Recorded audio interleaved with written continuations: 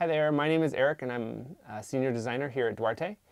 And SlideShare is a wonderful web application um, which allows you to put your presentations up on the web for all to see.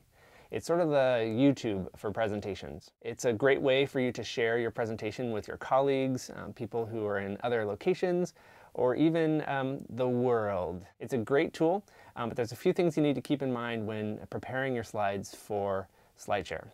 The first is that SlideShare doesn't support um, motion, uh, meaning animation or transitions.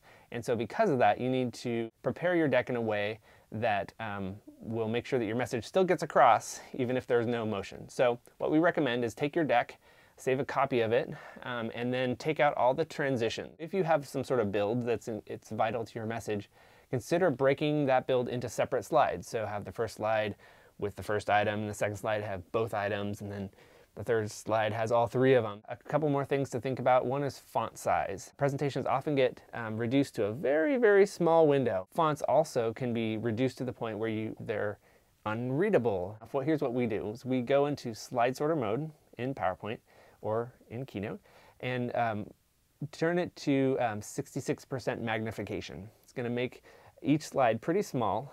Um, and if you can't read the text at that view, then that's some text that you need to um, take the font and increase its size. The final thing to think about for SlideShare is that um, these presentations are seen all over the world.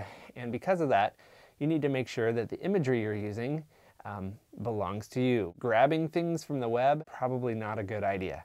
So you want to make sure you have gone to the a stock house, use photographs that you take yourself um, or graphics that you create yourself, but uh, make sure you own the rights uh, for anything that's going to go up there because it's going to be seen uh, by the world.